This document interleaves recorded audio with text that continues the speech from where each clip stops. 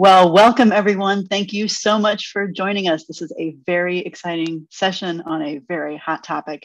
Uh, and welcome to the Consumers International Fair Digital Forum session on Buy Now, Pay Later services. I'm your host, Lisa Gill. I'm an investigative reporter at Consumer Reports here in the United States. Uh, Consumer Reports is an independent, nonprofit consumer organization based out of Yonkers, New York. I have been at Consumer Reports for over a decade, covering all kinds of healthcare topics and cost topics, including credit reports, credit scores, and how to fix them, how to make them better. And this topic has come across my desk, and we are looking at it very closely, and we are very excited about today's discussion. So I have the pleasure of moderating uh, the discussion um, about Buy Now, Pay Later and the consumer experiences. And I would love to just give you two quick um, housekeeping items here. So definitely if you can see it, use the chat function to add comments and Q&A for any of the panelists as we go along here. These panelists have got really rich backgrounds. They're coming from three points across the globe uh, to share what they've been studying and what they're seeing uh, in their neck of the woods. And it's, it's important, good stuff. So when also feel free to use the chat function to introduce yourselves, uh, which organization you're from, your name, and where you are chatting us from. So with that in mind, I would love to introduce our panelists today. We are joined by some excellent, excellent uh, people here with really deep insights, deep backgrounds into buy now, pay later topics. And we are looking forward to what they're going to share with us today. So, um, the first person, uh, one of our esteemed guests, is Chris Woolard. He is chair of the EY Global Regulatory Network and former chief executive of the UK's Financial Conduct Authority. Also joining us is Kelly Cochran. She is the Deputy Director of FinReg Lab here in the US. And Alan Kirkland, he is CEO of Choice. He is part of Australia's largest consumer organization. And I, I love pointing out that it's really early for Alan tomorrow morning, and it's really late in the evening for all of our UK panelists. So thank you everyone for joining us from across the globe. Also, another very important item after looking here at our panelists, I would love to mention that this is sort of a formal announcement, but it's an important one. And it's that today Consumer Reports is joining with other consumer advocacy organizations who have signed on to something that's called the Global Consumer Statement on Buy Now, Pay Later. And this is important. And this statement outlines key protections that we feel are needed to ensure that these payment services are safe and fair to use for consumers. And we're going to explore those reforms in much more detail later in the conversation with our panelists, but I wanted to let you all know ahead of time. And I'm going to just jump right in. And I'm, I'm seeing some great uh, chats coming across uh, the wire here, which I thank you for uh, introducing yourselves. It's really, it's a pleasure that you all are here.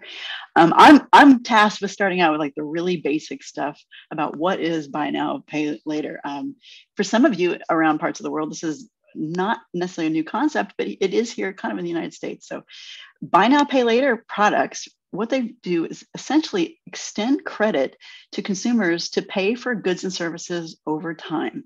And buy now, pay later providers, these companies, uh, typically cover the cost of goods and services upfront and then ask the consumer to pay them back in installments. And sort of like a credit card, but sort of not. And one really interesting thing is that how do these companies make money? And it's in two key ways. One is they charge businesses that use their services for the pleasure of using them or for the benefit of offering them.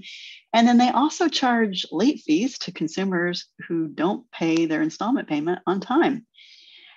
They the buy now pay services have become much more popular um, since a company called Afterpay was first introduced in Australia in 2014 and it has seen a really rapid growth since then in a lot of other countries, uh, along with the United States, but it also includes Sweden, Germany, Finland, the UK, and obviously here.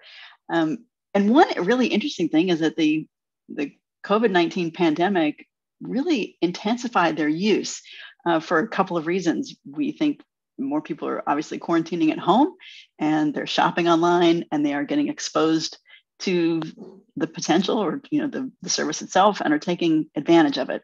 In fact so many people have been using them here in the united states that consumer reports did a recent nationally representative survey of people who have used buy now pay later services and we had some pretty interesting findings that are definitely worth sharing here.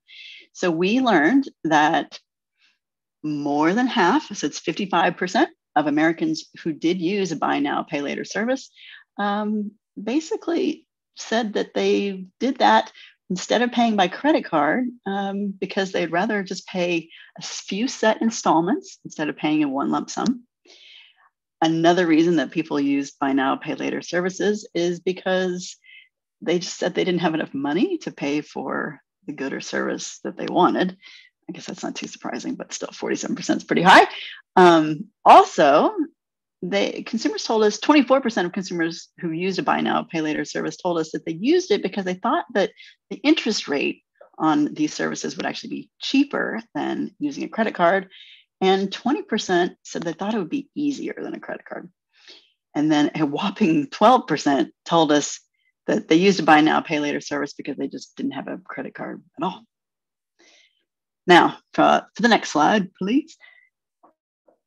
Interestingly 80% of people who do use a buy now, pay later service here in the United States told us they didn't have a problem using it. In fact, they were kind of happy with the service. They said it was convenient and it was easy to use without interest if you're organizing, if you can make your payments on time. But the real downside is that 20% of people who do, who have used these services, did report some kind of problem. And one, probably not too surprising, but interesting, uh, is that people who use these made purchases that they later regretted uh, that they basically impulse buy. So they buy you know maybe more than what they can afford. Um, also people were upset because they were charged late fees for late payments. And some people told us that they had difficulty trying to deal with getting items you know like returning an item or just dealing with customer service if they were unhappy with the purchase. So that's what's going on here in the us um, and sorry, I'm looking at my notes, which are extensive. We, as I mentioned, we have signed on to the global consumer statement on buy now, pay later, and we are going to talk about these reforms in much greater detail as we continue our session. Um, I'm going to turn this over to Chris Woolard, who's got some really, really remarkable information to share with us as part of the Woolard Review um, and to give us a more detailed look at what's going on in the UK and what reforms are being introduced. So, Chris, thank you so much for coming today and thank you for sharing with us. Excellent. Thanks, Lisa. Um, so, good afternoon, or good evening, or good morning, uh, depending on where you are uh, in the world at the moment. Um, as Lisa said, I'm Chris Woolard. Uh, I'm a partner at EY. I'm also a trustee of Which, which is the Consumer Association in the UK. Uh, I'm not speaking in either of those capacities today, so these are some sort of personal comments, and they're based on being chair of uh, the Woolard Review uh, last year and, and, in late 2020. It does, by the way, sound really weird to call it the Woolard Review. It is as if you're talking about yourself in the third person.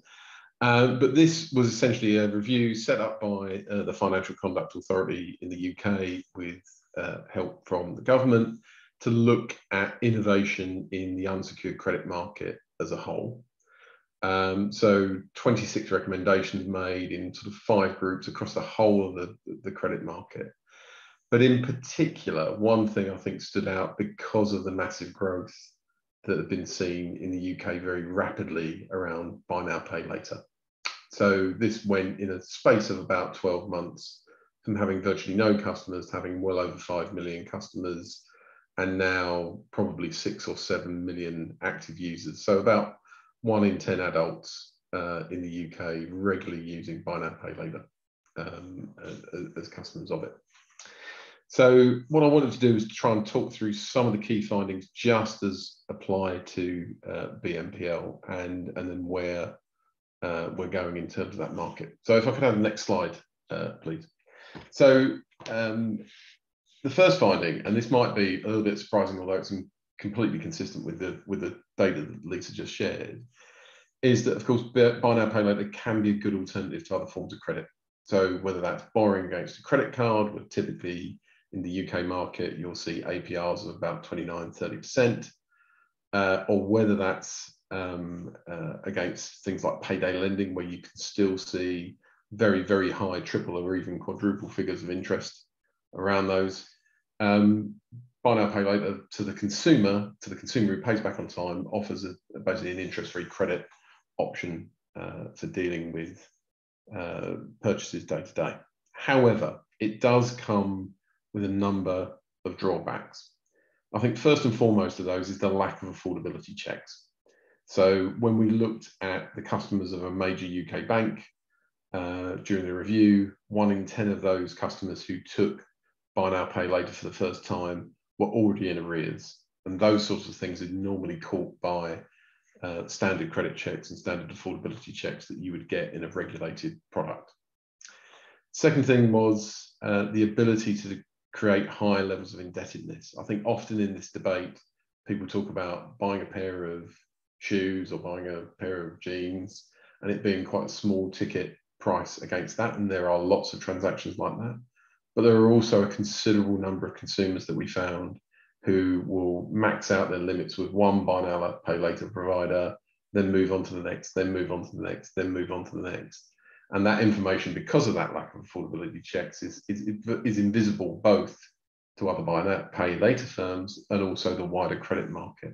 And so you can have people quickly acquiring sums of around a thousand pounds of debt, which when you look at the average incomes of some of the people we're talking about, it, it's often trending towards a range of around 16,000 a year. So those are, you know, quite high levels of indebtedness quite quickly. Then we also found in the review that there was poor consumer understanding of the product.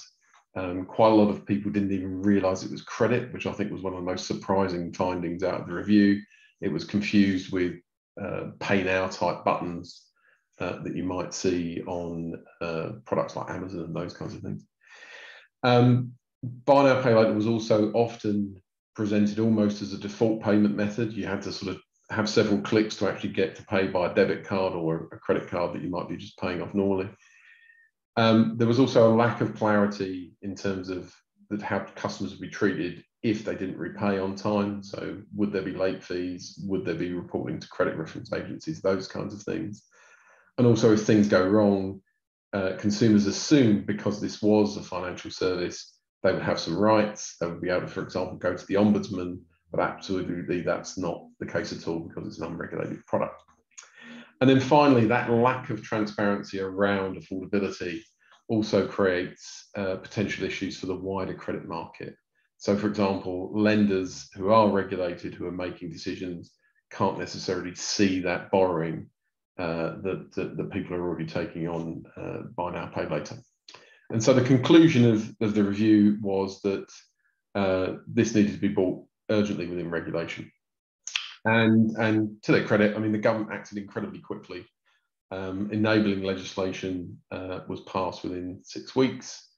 Uh, since then, the Treasury has been somewhat slower, but it's been dealing with a whole range of other things.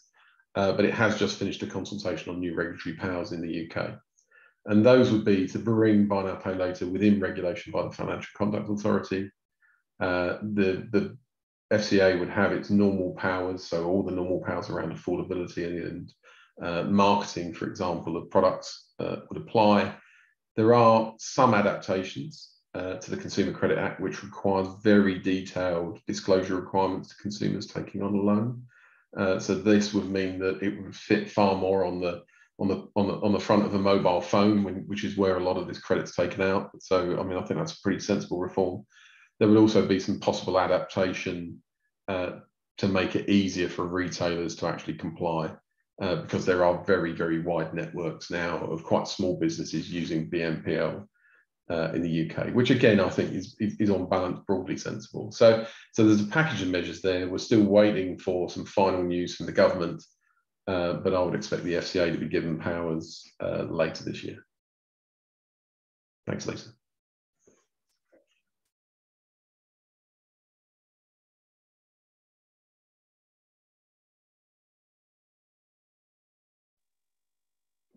It's like no matter how many Zoom calls that you're on, you always forget to unmute, or I do. Chris, that was really insightful. Thank you so much uh, for sharing. I you said something that really was ringing a bell here um, in the U.S. on payments, and that is, you know, when you come to the payment screen, those buy now pay later services show up just like they do with credit cards, and it might even be a little easier to use them. And a consumer could pretty easily confuse, I would say, those services with a credit card. And that takes us to the first question to Kelly about how do buy now, pay later services affect a person's credit report and possibly their credit score? You know, how, how are these how are these services sort of seen um, by credit reports and why is it good or bad? Thanks, Lisa. Yeah, we're um, thanks so much for including us in this. Um, we're focused on the use of data and technology with a particular lens towards financial inclusion. And with in the US in particular, I think there's some debate going on right now about how buy buy now pay later potentially affect financial inclusion. We're seeing a lot of the credit reporting agencies changing their positions and kind of approaches to this data stream. And so we've been digging in to make sure we understand what's happening. I think there are a couple of different things that are really important for consumers to consider in this space. The general rule for most of these products is that they are not usually reported to credit bureaus in the way that other kind of more traditional credit products are, unless the consumer goes late, in which case they are far more likely to be reported, although even then it does not always happen. So I think the first concern for consumers, especially if they don't really think about this as a form of credit, is that they may just not be thinking about the fact that there is some downside risk to their credit reports and their credit scores if they don't make the payments on time. And particularly in situations where consumers may be layering on a lot of these products on top of each other, if they lose track of something, you can potentially have problems where you are starting to see some delinquencies on your reports. Um, Oh, sorry. Did you? Well, yeah, I've got. I have to jump in and just ask you this question. It's yeah. off script, but I think it's pertinent, and that is, you know, when when somebody doesn't, you know, they make a late payment, right, um, and maybe or they don't, they skip a payment altogether for whatever reason, and something does actually go to collections. You know, my impression is, is that uh, from a credit report standpoint, you know that is a ding on your credit report that can be huge. And whether it's a 10 i mean not you know whether it's a $10 item that's in collections a hundred or a thousand dollar it won't it won't necessarily matter. It's the fact that something did go into collections and it can really destroy your credit it really depends. It can. It really depends on where the consumer's credit is to begin with. If you already have a, a, credit record that has some delinquencies on it, it actually, frankly, will probably have less effect than on whether you have a really pristine credit record that doesn't show any other delinquencies. So it depends a little bit on the consumer circumstances but there's no question it can have a big effect. And I think one of the other things that's challenging about this space is there aren't a lot of really standardized procedures yet. Many of these products may be um, requiring consumer payments every two weeks. Well, at least in the US, most credit products are really thought of in a monthly cycle. And so what happens if a consumer goes delinquent on one payment, catches back up? Like there's not a real standardized way of dealing with that within the industry. So, um, so there's a risk that just inconsistent practices can kind of muddy the waters and, and lead to different results for consumers who are actually similarly situated. I think a second set of concerns is that um, uh, as I said, at least in the US, there's some interest in thinking about this as potentially a credit building opportunity. But what we're finding as we probe that is it really depends a lot on um, some lenders are, are reporting, but not all. And exactly how that reporting happens can make a big difference. And again, standards are a really important question. So uh, if the lender is making a hard inquiry up front, that can affect a, potentially affect a consumer's credit score. Sure. That's not very common in the industry in most areas, but it can. In some providers may do that, and so that may not be something consumers are expecting. And then on the back end, where they are reporting even on-time payments, things like is this reported as an open-end line of credit or a closed-end product where each loan is a separate trade line, could have a potential impact. Is there an opening date on the you know listed for the account? Um, how do the delinquencies situations work? How do utilization rates get calculated with these That's kinds right. of products? All of these kinds of things can potentially in fact, uh, affect consumers' scores. And so while there may be situations where even if a consumer has a positive payments history, they are making everything on time, the results on their scores aren't necessarily what they're expecting.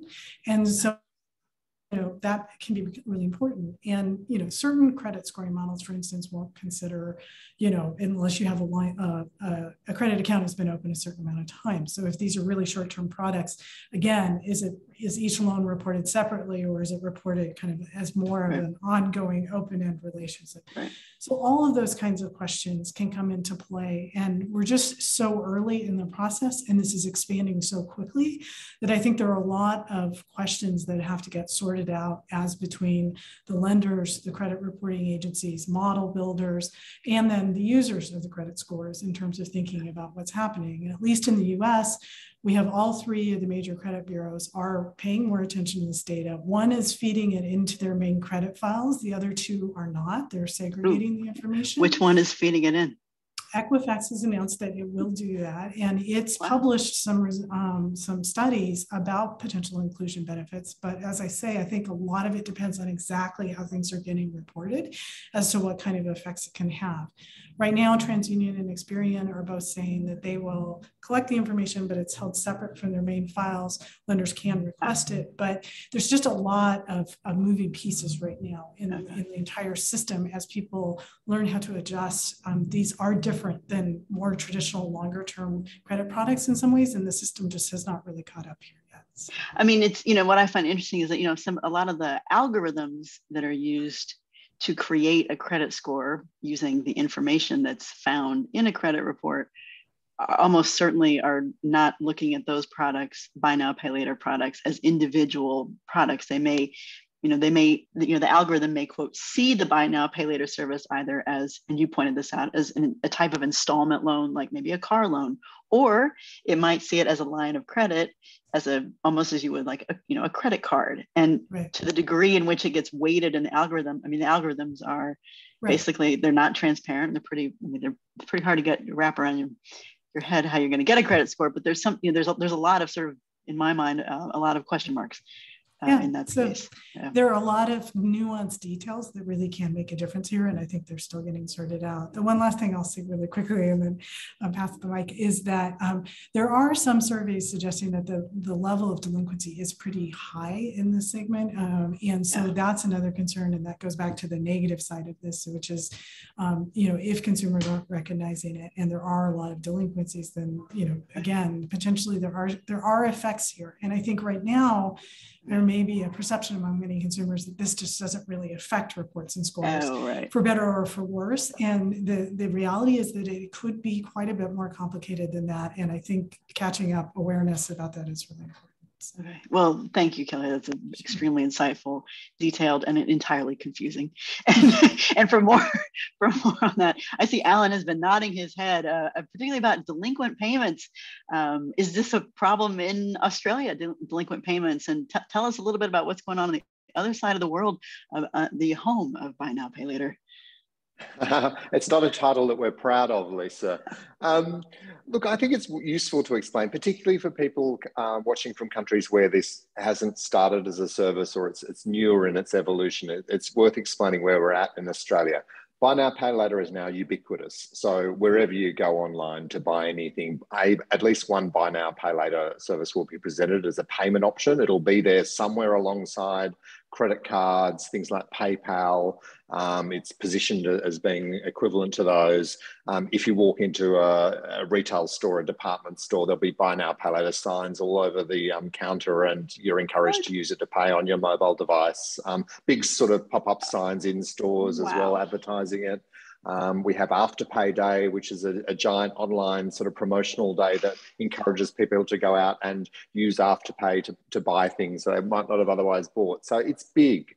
Um, wow. And while it's it started out being positioned as something that was a sort of a convenience thing for young people, like you know, buy that pair of jeans a bit earlier than you might otherwise and pay it off a few days later. Um, now it's actually available for quite large purchases. So you can lend up to $30,000 Australian, which is about $20,000 US, to put solar panels on your home or to have cosmetic surgery or dental surgery. Um, so um, we've got these two things happening. At, at, the other end of the market, you've then got it being used for essential services, so groceries, utility bills, energy bills, water bills. Um, and I think um, to understand why this happens, you've got to understand the business model.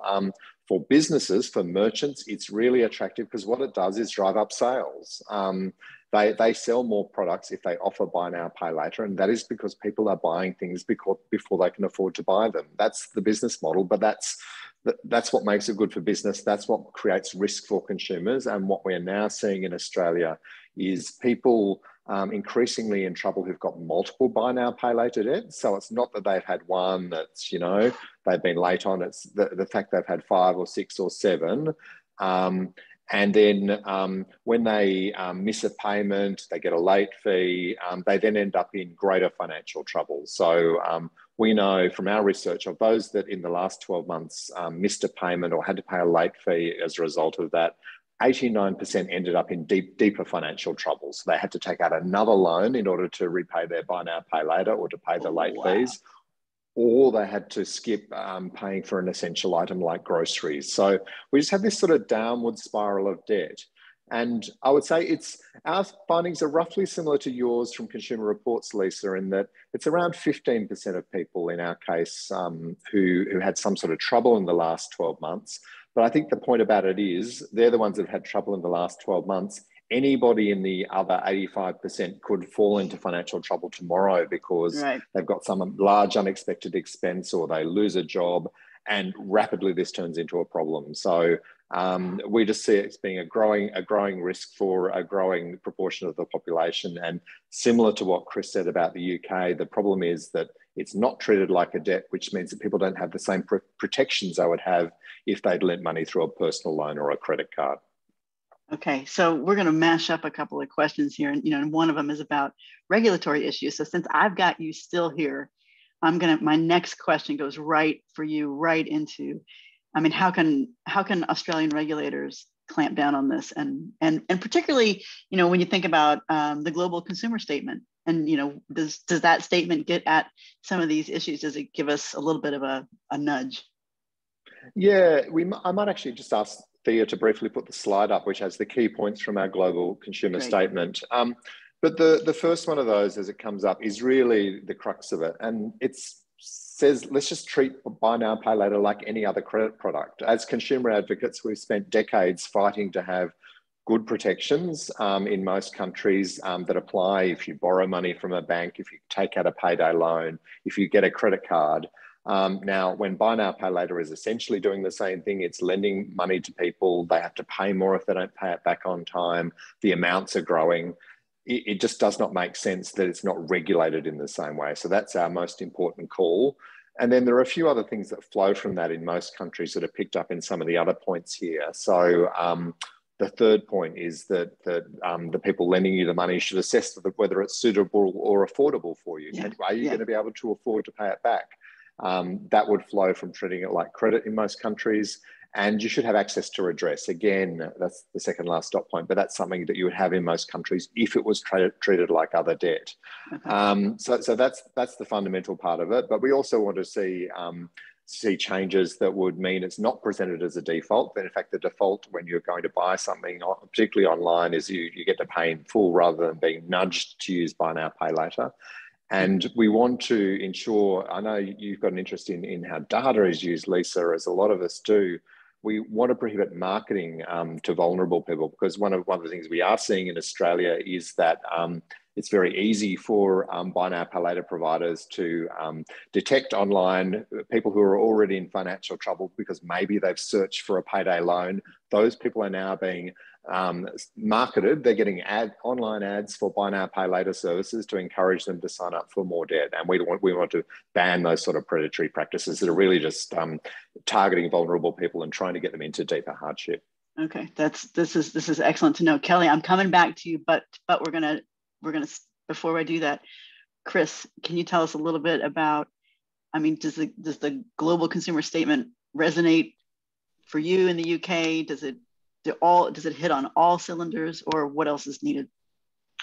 Yeah so i mean absolutely. I mean it, it, it, it definitely does. And i think in terms of what I outlined briefly, in terms of where the review got to, where the government's consulting in the UK on, on the on the package regulation, I mean, effectively, it hits I think the points we're talking about here. So by bringing uh, buy now pay later within the regulatory, what's called the regulatory perimeter in the UK, but by bringing it within that regulatory perimeter, you will have rules around affordability. You will have rules around what's called in the UK financial promotion. So, in other words, how that credit's presented, how it's marketed, do you target particular groups? It will bring it within the scope of uh, the FCA's vulnerability guidance and, and so on and so forth. So, I think a lot of the measures that you're, you're talking about here, from a UK perspective, you would see um, you know, regulation applied to this sector in the way that the Treasury is consulted on. If it's done in that way, then that would that would hit a lot of these measures. Um, and I think I think you know there are some countries that have gone in a slightly different direction. Um, so there's a number of European countries, for example, that really do genuinely prevent anything other than a debit card being sort of put up as the first kind of payment option. I mean, I think, and even credit cards are sort of a click through from there. Um, I don't think you know the UK will go that far um, in any sort of sense of that, but but I do think that that overall bringing uh, buy within that regulatory framework does begin to solve an awful lot of the problems that are being identified. And at, and at one point that I think is often sort of not quite in this debate. I mean, I think if if the firms themselves want to have a long-term sustainable future, then you know being within that regulatory construct, I think is important as well. Um, and that was a point that we made in the review. Okay. Well, those are those are two fantastic perspectives, and I'm moving on a little bit to you, Kelly, because we're going to talk about one issue that is, for me, and maybe I missed it, but it's not as clear in the statement, and that is, you know, the reporting process on onto consumer credit reports, yeah. and um, you know, if you can talk a little bit about how, I mean, how do we get at that aspect of it? Yeah, I think there's a, a, couple of things there, and it's not all necessarily regulatory. Some of this is about industry practice as well in this space. Um, I think the biggest question initially is just transparency. Um, you know, to the extent that uh, the, a particular buy now, pay, later provider's practices are buried in terms and conditions, it's just, it's not something the consumer may see. And so I think getting at that question and making, really focusing on ways to educate so the consumer understands, as we talked about, there's, you know, there's potential risk um, in making sure that they do understand the risk of, of negative, the consequences of, of missing payments. Um, and to the extent that consumers are interested in using as a, a, as a kind of building product, like you know, understanding whether the particular provider's practices are going to lead in that direction is, you know, is a complicated question to tackle. So, you know, those are important things. And then the other thing I think is really important is standardization, like I said, with regard to practices and thinking more broadly about how does this compare to other products um, and, and kind of where does it fit in the ecosystem? What's the way to kind of structure the reporting in a way that, that makes sense and is capturing kind of the key signals for, for the system. Um, you know, in the U.S., that's largely an industry-driven practice. Uh, um, you know, um, process to, to kind of standardize. It doesn't necessarily have to be dictated by regulators, but the importance is, is that it, it get addressed and that um, to the extent this information is starting to come into the system, that it is being identified as buy now pay later and that, you know, like I said, people are starting to, to deal with it in a way that really yields the, the right kinds of insights as opposed to just muddying the, the signal um, is, is really important. So those are both important considerations. Um, in the US, the Consumer Financial Protection Bureau is, um, is kind of opened an inquiry into this space. They're focusing on a lot of the same issues. One other interesting thing that they raised is questions about um, data harvesting by buy now pay later uh, uh, companies and kind of what they do with their data. Do they ever turn it over to third parties? That's not exactly about credit reporting, but I think it's another another interesting question to explore in this space as, as people move forward. So. And, and is the answer yes? if it's de-identified possibly i mean it's not you know that's kind of the name of the game a lot of times uh, with these kinds of financial services I I mean I don't have the best. Or we don't know yet. I don't have the best line of sight, and they are. I think the comment period closes next week on this, so you know we'll be learning more. They've also sent out inquiries to several specific providers to get more information. Um, I think what it is sort of probing is whether somehow data harvesting could become a third revenue source is kind of what I'm reading between the lines of the questions, but um, but we don't have the answers yet. Uh, and so I think it'll be really interesting uh, to see where that inquiry goes and, and what the CFPB comes back out with um, from all the, the data that it's gathering. So. And, and for sure, I mean, this gets into the marketing issue that both Alan and Chris have pointed out, and that the, the statement does get at is, you know, as you collect data on your users, and then you're, you're more you know, we, we know that with credit score apps, this is area we covered quite a bit. Um, you know, you can more effectively market more specific, you know, ever ever more specific products to consumers that they may or may not, you know, may or may not be in their best interest, but um, boy, they sure know they can know an awful lot about you. So that's a that's a it sounds like a sort of an issue on the horizon that is extremely important, but not as pressing as some of the really immediate financial uh, concerns. Um, I want to do a last sort of round of questions here. Um, you know, and, and the the like the big one on my mind and we're going to we're going to talk about consumer advocates and what they can do but the thing that is really striking to me is that these products are you know five you know in some cases five or six years old i mean the concept is not completely you know it's not completely brand new although it's a hot topic um, i'm finding that and I'm, I'm really surprised to understand how sort of overall very little regulation there is uh, that these companies really operate under in, in all cases, in all continents that, that we have touched on today, Australia, uh, UK, and uh, countries and continents, I should say, in the United States. And, you know, as we get into the idea of like, well, what can consumer advocates do? Um, I think it's clear there's a pressing need, but it's also clear to me that, you know, it could be slow. I mean, can consumer advocates help speed up this process? Is there something that advocates can do to really move this along so that it doesn't take yet another six years uh, to regulate them? And I'm gonna I'm gonna jump to Alan uh, and ask ask that for Australia and any, anywhere else.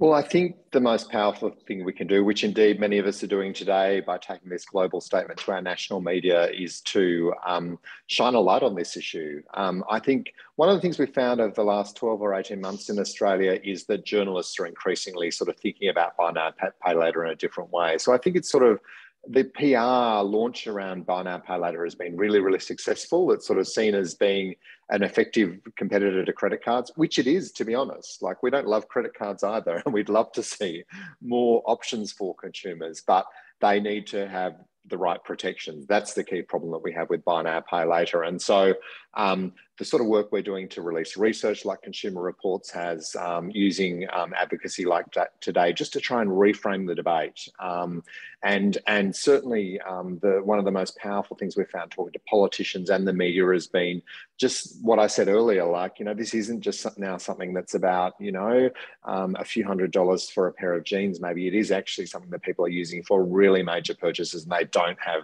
um, the sort of protections that they should. So I think that's an important part of it. But I also think this global collaboration through Consumers International is really, really critical because um, you know most of the major players in buy now, pay later are now operating at a global level, and we really want to have a conversation with them because, as I said, I don't actually have a fundamental problem with buy now, pay later. I just want it to be provided on terms that are fair for consumers, and if there are buy now, pay later providers out there that want to have that conversation with us, then we're really up for it.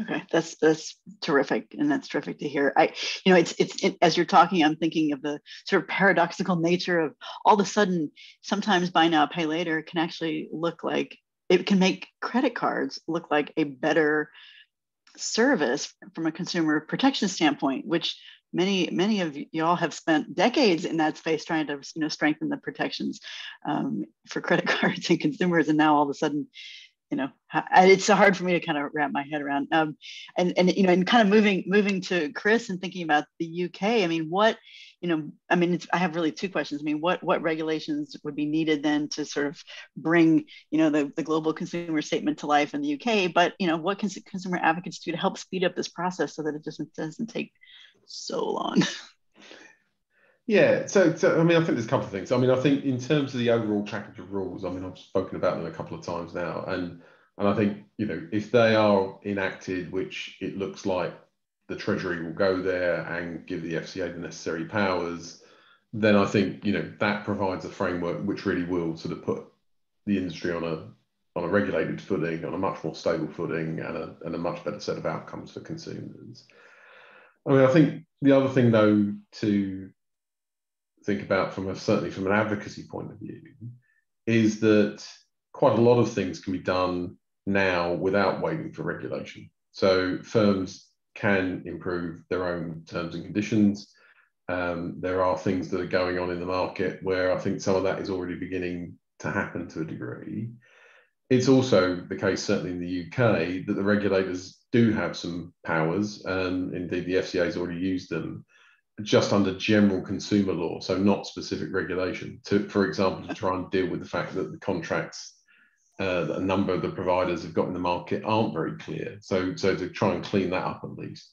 So, so there's a range of things going on that I think are beginning to shift the industry. I think there's also a degree to which, if you're a large player here, there is uh, both in terms of preparing to be regulated, but also in terms of wider reputation, there is a genuine benefit to trying to sort of lean into some of this as it's beginning to happen rather than wait until the very last minute. And again, I think around some of the questions of affordability, you will see maybe some of the players in the market begin to move in that way a bit more. But but but on the whole, I mean, I think what you've got to have is a level playing field, and the only way in to get that level playing field is is, is regulation that applies to everyone. Excellent. Well, you know, my our, our real last question is is we're going to flip it, even though you know, it seems like you might be repeating something. Sometimes it's nice to say it in the positive. So I'm going to ask each of you uh, if you could outline for me. I'm going to start with Kelly. Kelly, can you outline for me what you know in your in your wish world do you wish buy now pay later services look like? What what do they look like for you? Like I said, we've been focused fairly narrowly in the space of the reporting side rather than product structure or something like that. So I don't feel like I can speak to that so much. Yeah. But I think, um, you know, getting to a system where we really do know kind of a consistent way to handle this information when in, into the system and so that it can be evaluated in, in a kind of thoughtful way. And, you know, to the extent that people are, are kind of making an argument that it can be a credit building path, that that is really actualized is, yeah. is I think really important. And, and so, you know, that's the, the space that I think we're, looking to see kind of how this comes together and it and it's going to take multiple players to do it it's not just about the providers i think it's you know the anytime you're dealing with a reporting or scoring system you know there are a lot of people in in the ecosystem that have to come together so it's going to take some effort but i think that that uh, you know that potentially it would be really helpful and and is really important to the extent that people are now starting to make arguments about it as as a building path so. Okay. I do have one quick question that is off script, but I think it is pertinent to what you're talking about. And we, when we think about, you know, asking buy now, pay later services to operate more like a credit card in terms of the checks uh, that would need to go, you know, need to happen before a person, uh, you know, is granted the the service. Um, when we think about, you know, a soft check versus a hard check, right? And that, you know, for those outside the U.S., you know, a hard check um, on a credit report can cost you a couple of points, and it can take a couple of years, at least two years, to get it off of the credit report. And a lot of times, credit card companies will use them um, when they're when you're actually applying uh, for a credit card. So, how do we? I mean, in just like 30 seconds, you tell us, you know, you don't want consumers to be dinged for using buy now, pay later services for, you know, purchase of a, you know, a burrito or a Starbucks right. or a mattress. And this is, I mean, they're not all the same, but if, you know, we, we we want to we want to be mindful that we don't want to chip away at that score uh, by checking every time. So how do you how do you deal with that? Yeah, I, I, mean, I think the most important thing is to be clear about it so that people understand what the consequences are. My understanding in the US in particular is that hard checks are extremely rare. I think I've seen it more in conjunction with other countries than, than here. So I, am not sure that there is a major problem in, in the US specifically on this. I think the importance is, you know, kind of thinking through the broader set of questions and making sure that it's appropriate. I mean, there are ways in which thinking of this as an open end credit product where you have an ongoing relationship with a provider that extends over multiple purchases conceptually makes a lot of sense to me, you know, and I think that it would lead to kind of a longer trade line that was is potentially more insightful as opposed to treating each purchase as yeah. separate. So, you know, I think there are ways in which thinking about this possibly that may make sense, but uh, you know, again, there's a lot of nuance in the details and it needs to be thought through. So. Well, I think I think you just laid out your your vision for a, an actual buy now pay later service. so, so I, I knew I was going to get that. and so, Alan, maybe maybe you could you know flip the script here and tell us I know you've talked a lot about the things that are needed to shore up for consumer protections, but you know, what does the ideal buy now, pay later service look like in Australia? Well, first, in, a market sense, I think it's useful to have buy now, pay later providers in the market for all the reasons we've talked about a moment ago. We don't love the other forms of credit that are there. Ultimately, if there's competition, effective competition between different payment options, that should overall create better outcomes for consumers. But competition has to be paired with consumer protection. So I think that means that for buy now, pay later providers to be in the market, but offering the similar sorts of protections, to be checking whether people can afford um, to take out a loan um, before it's offered to them, making sure that the product that's being offered is suitable to them, ensuring they've got access to redress, whether that's um, access to a financial ombudsman or a tribunal in the relevant country, um, similar to what you'd have for a loan, and that you've got payment protections like you have with, with options like credit cards. So if you pay for something and it's not provided or it's not uh, what you were promised, then you've got the right to a refund. Uh, those are really important protections that actually make the whole market work more effectively. And I think that will ultimately be in the interests of buy now, pay later providers. Because one perspective we haven't brought in yet today is what we're actually seeing at the moment is the investor confidence in buy now, pay later um, products um, or companies um, falling through the floor. So um, there's actually increased concern by investors around the world about defaults. Um, so I think it's in the interest, and that's sending their share prices down. So I wow. think it's in the interest of buy now, pay later providers to be addressing these issues. That will make their business models more sustainable and produce better outcomes for consumers. You know, Alan, that is a, that is a terrific indice to point out. I think, and you know, our, I mean, we we're we're very, you know, obviously in this conversation, very focused on the consumer side, what the consumer's experiencing, and the protections, rights, and you know, and rights around um, using these products. But you know, to look at that, it's a, it's an indicator indicator of future financial health. And it is a very interesting, it's a very interesting point uh, to bring up that, you know, investors are like a little worried about, they're a little worried about a couple of different things, one of them being obviously defaults, and then the other being, you know, right. I mean, and you're sort of saying, you know, well, regulations would actually help investors gain confidence. Um, but, you know, in the absence of that, uh, it sounds like they're, they're a little scared. So that's, that's very interesting. Thank you for, for sharing that. Um, Christopher, you want to talk a little bit about uh, flipping the script here? What does the ideal buy now, pay later service look like for you? Yeah, so so I mean, I agree an awful lot with that, what Alan's just said. Actually, I mean, I think we need to make sure we don't sort of demonize this as a as a, as a product because you know, for many people, the ability to buy something in interest-free installments. Yeah. And the retailer who ultimately is sort of marketing that product really sort of bears the cost that's actually quite a positive product compared to many of the others that we see in the market.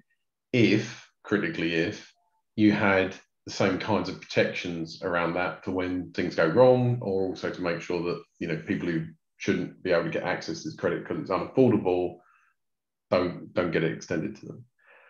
I mean, it will need, I think, some fairly big pieces of infrastructure to change. I mean, the point that was being made about how credit referencing works today versus how it's going to need to work in the future.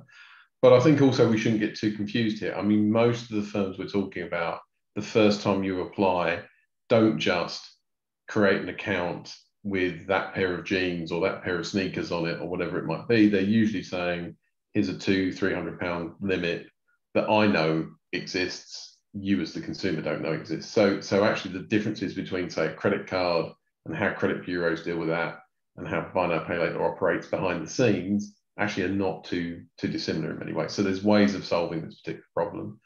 I mean, I think also the degree to which for those small scale purchases, people are drawing on open banking where that exists in certain jurisdictions to actually get some better data behind some of those lending decisions. You know, all of those things could work here quite seamlessly. I mean, I think the, the, the great appeal to consumers is this is a very, very uh, easy product to operate and use. I mean, some would argue too easy, but but actually, I think regulation will obviously introduce a little bit of friction here. But actually, there are some really smart ways this industry could sort of still work in the future. And then I think finally, you get this theme across all sorts of credit now. I think certainly within the UK market, the way the regulator looks at it, it's credit being used appropriately. So, what's the product intended to do? Is it being used appropriately in those circumstances? And I think you know some of the examples that we can see from other parts of the world, some of the things that Alan talked about of you know it now being widely used, for example, in uh, the hospitality sector. So you know you can go and buy a meal, go and buy some drinks, whatever it might be, using buy now pay later. We're not seeing that in the UK market. We're not seeing that in most of the European market. I don't think. And I suspect if for the for its long term future, that's not necessarily a place it wants to go either. I think as an industry because of that confidence of investors question.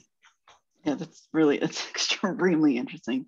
Thank you, and I and I, I appreciate breaking down the different types of purchases consumers might be making. Uh, I wanted to turn our attention to some of the uh, attendees' questions, and I'm I'm looking at one that is is, and I'm hoping everybody can just kind of touch on this topic a little bit about disclosures and these sort of uh, you know click you know quick click past as you you know as a, as a consumer is being faced with the option of you know they're going to use any any of the multiple buy now pay later services and you know how this information things that things that are meant for consumers protection actually wind up as convoluted or very difficult to read or or mm. grasp you know agreements um, I, you know, if Ken, I don't know, I don't, if Ken wants to maybe unmute and ask a very, you know, specific question about that, I, I would welcome it.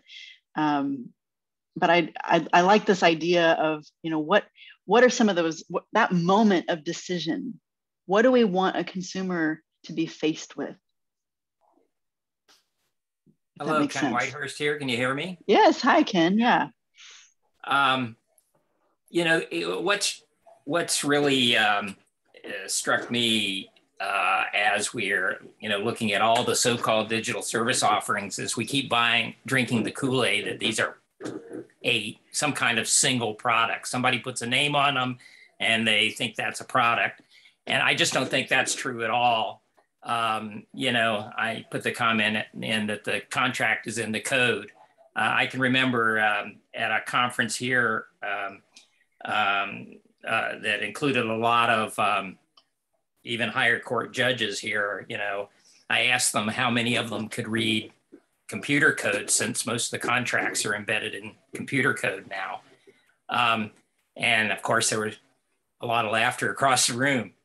So uh, even they are making decisions based not on the facts, but on what people tell them in oral descriptions are the facts. Um, so this is a fundamental problem, and and um, there's a fundamental difference between credit card and many of these quick click through credit products. The credit card is at least uh, you know a prearranged credit arrangement, and uh, and something about the person's ability to pay is included. Uh, it's kind of passing strange to countries that were affected by what happened um, in the United States over the uh, over the mortgage crisis that you know that the U.S. hasn't come to grips with the idea that um, that the old um, chestnut that consumers have that no one will lend you money that you can't pay back is just no longer true because the financial services industry has learned how to manage and make money off risk and they um, and so it's really a question of when do you get your return that's adequate and then you don't really care what wreckage you leave behind and what wreckage you I mean, can sell. So can can can I can I ask you? Uh, I don't mean to cut you off, but since we only have a few minutes, I would love. Yeah. You've got a really rich amount of information here. Can you summarize it into like a question that that they might our panelists might be able to like delve right into because it's you like I said you've got good good in, intel here. Um, and I think that you know, I was trying to do that by saying you know what is the what does that moment of consumer choice look like? Would you say that's a fair way to ask your question? Well um, I, I, think the question is um, that I have is why aren't we um, uh, recognizing the difference between the use of revolving credit and and what is essentially a new credit application? And why aren't we applying the requirements that normally go with a credit application um, right at the front end of these things? Because they, they, they, they, each and every transaction is a unique credit application. That's perfect. Can I see? I see Alan shaking his head. So I'm gonna I'm gonna let Alan take that, and then I'm gonna jump to Kelly because that, that's in Kelly's wheelhouse too. So go ahead, Alan. Yeah, I think I think that's broadly you, similar that's broadly similar, Ken, to what Chris and I were effectively saying. Let's, you know, take some of the learnings from other types of credit. Um, I thought I'd share with you something a, a, financial journalist for a major financial newspaper in Australia wrote this week. The last time bad debts were this bad, Hollywood made a movie about it. Now, he was talking about buy now, pay later. Um, and he was talking about the big short, short in terms of the Hollywood movie, essentially saying, look, we're seeing something really similar to the early stages of the subprime lending crisis. Why aren't we recognizing those signs?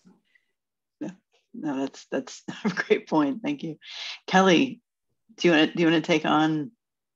Um, yeah, I mean, I think there's there's important questions about kind of how the the process starts and what you know we know that buy now pay later um, some companies will start with a small amount and and kind of uh, do a small initial approval and then build over time. So a lot of the data that they're building on is kind of their own past payment history with the same consumer. So question is how do you bridge into that and what are the upfront requirements and and you know that's not an illogical way to get a sense of what the consumer can afford but there are really important questions embedded in that. I do think the point that you were making is is also really important lisa which is at the moment that the, the origination starts, the relationship is established, especially if the consumer is in the store, but even online, you know, it you cannot get all of the relevant information for the consumer into that moment. And I think that's one of the things that we are seeing. Um, we've done a lot of work, for instance, with cash flow and bank account data. And it's a similar thing because the consumer is focused on the, the loan or the transaction.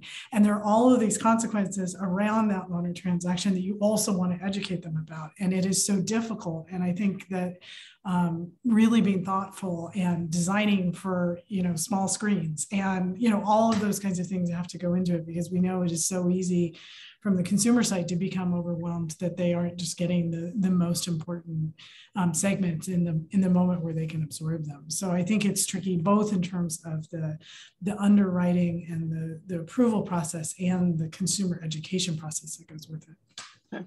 Um, I'm going to give a homework assignment here really quickly to any of the panelists who would like to look at. In the Q&A, Juan has asked us a quite a detailed, very rich question. And as any any of the three of you are reading through that and maybe thinking ab about how to respond, um, let's do a quick round robin on the demographics. Um, I can say that at least in the United States, you know, for the people that use buy now pay later products seem to fall into two buckets. And the first bucket is people like myself, but mostly uh, you know middle-aged women uh, who are maybe like although I'm not slightly overextended in my credit, but that is typically um, the the primary user. And then people, younger people who don't have a lot of credit and who don't really have a lot of means, and they they seek these products out. Um, Alan and and jump in, Kelly, if you if you know any more for the U.S. Alan and Chris, let's we'd love to hear from you quickly. Um, what's going on? Just briefly, yeah, briefly, young people have really led the charge, um, and they were the, the initial target market. Um, and many of them are using these products without falling into into trouble. I guess the issue is if there's some event in their life, then then they don't they won't have the protections that they need if they then land in trouble. Um, but then building off that base of young people, it is now ubiquitous. So it is increasingly just everyday people, parents um, trying to manage their household bills in the context of rising cost of living, and that's where we're seeing further problems. Great, thank you, Alan. Christopher. Yeah, I mean, again, very, very similar um, set of experiences. So this is a product that tends to trend younger. It trends slightly more towards women than than men. Uh, but as Alan said, you know, you now see this being deployed across a whole range of demographics uh, buy now pay later associated with you know premium brands um, you know quite expensive items um, uh, that you know definitely aim more at a sort of what you might call a middle class kind of market. Um, so so you know this this is this is across a whole group of people but on the whole there is a trending towards lower income there is a trending towards younger uh, that you can observe certainly in the UK Okay. Yeah, uh, one thing I would add just real quickly is I think, especially to the extent that it does, uh, that a lot of the usage is trended towards younger populations. We know that they often um, will not have as thick credit files. They may have, you know, not have credit scores because they're still kind of getting established. And so I think there's some implications there with regard to the credit building questions. And, and if um, younger consumers are really you know pivoting towards these channels what are the potential implications for them to to build credit records for buying a home or doing other things downstream? Well it, we have reached our time so i cannot thank everyone enough uh, all of our attendees as well as our panelists. Juan's question is is fantastic. If anyone can reach out to juan individually or vice versa juan if you'd like to reach out to our panelists i, I encourage that. I will say that i i do believe uh, latin american countries would be this is this that's a would have been wonderful to include uh, a representative uh, from from any of them because I, it sounds like you're sort of in a different um, stage of development, but also a very necessary and important one. So thank you for thank you for raising that.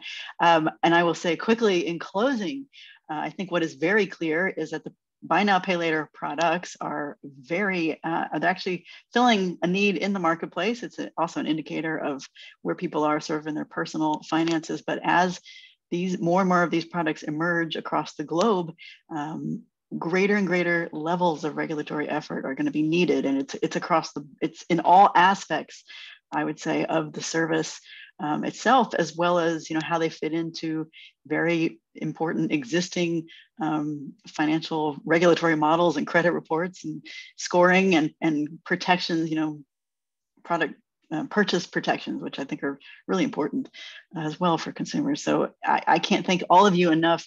This is definitely not the last time we'll be talking about this topic. Um, certainly, uh, we will be writing more. So thank you so much. And yes, yes, definitely take a look at uh, our everybody's Twitter, LinkedIn, Instagram accounts uh, for Consumers International. And thank you so much. Have a lovely evening and a great day ahead of you. Bye bye.